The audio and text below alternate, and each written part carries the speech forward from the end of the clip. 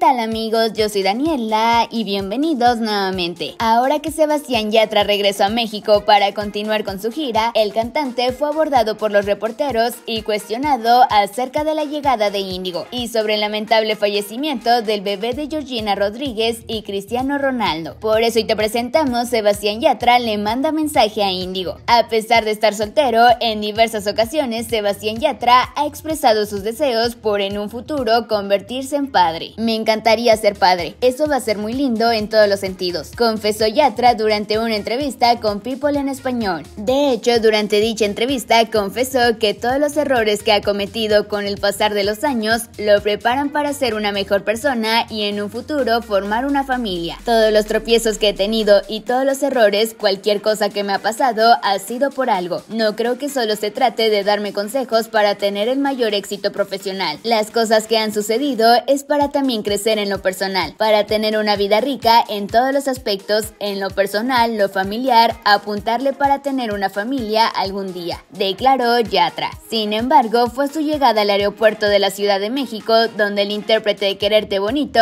bromeó al decir que muy pronto se convertiría en padre. Claro, voy a ser papá. No mentira, ¿te imaginas? Dijo entre risas Yatra. Pero hablando de bebés, Sebastián le quiso enviar un mensaje a Camilo y a Baluna tras haber recibido a Índigo, a quien le deseó la mayor felicidad. Los quiero mucho, a él y a Baluna. Que Dios se la cuide siempre y que la llene de alegría y felicidad en su corazón, declaró Yatra. Aunque otra persona en dar a luz recientemente fue Georgina Rodríguez, pero desafortunadamente el varoncito no pudo sobrevivir. De hecho, la agridulce noticia la compartió la modelo junto a Cristiano Ronaldo, confesando que en medio de su gran dolor sienten una gran felicidad por la llegada de su bebita. Es por eso que Yatra también fue cuestionado al respecto, admitiendo lo triste que fue para él saber del deceso del bebé. Me partió el corazón leer esa noticia, de algo que pasa mucho, pues en ese momento del parto no hay mucho que decir sobre eso. Me rompe el corazón, expresó Sebastián. Aunque esperemos que en unos cuantos años Sebastián nos pueda dar detalles acerca de su paternidad. Pero tú, ¿qué opinas?